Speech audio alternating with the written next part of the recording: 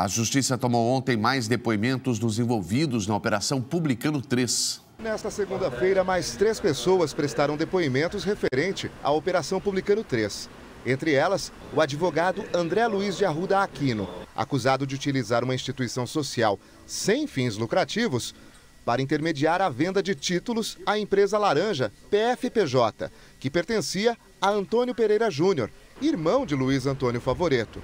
O advogado comprou títulos avaliados em 10 milhões de reais pelo valor de 52 mil e repassou para a PFPJ por um milhão e meio. O advogado também é investigado por comprar dois imóveis em Pontal do Paraná com documentação subfaturada.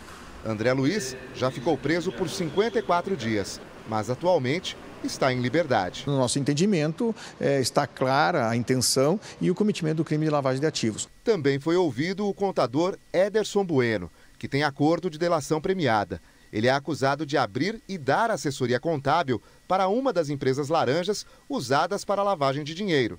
O contador, que também é irmão do auditor afastado Marco Antônio Bueno, negou todas as acusações, alegando que as empresas desenvolviam atividade comercial. Isso tem que ser analisado com calma, né? verificado exatamente o que, eh, em quais termos eh, foram celebrados o acordo de colaboração. Normalmente pressupõe a confissão de crimes. Né?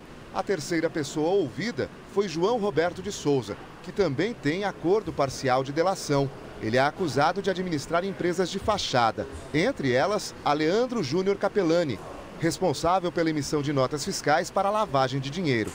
João Roberto trabalhava para o grupo de Carlos Eduardo de Souza, dono da SG Alumínios. Durante depoimento, o administrador contou que o dono do grupo para quem ele trabalhava, Carlos Eduardo de Souza, fazia retiradas de 200 a 500 mil reais todos os meses. O valor era repassado pelo auditor fiscal Luiz Antônio de Souza.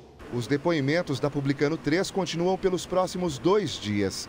O mais aguardado é o do ex-delegado da Receita Estadual, José Luiz Favoreto, que acontecerá na quarta-feira.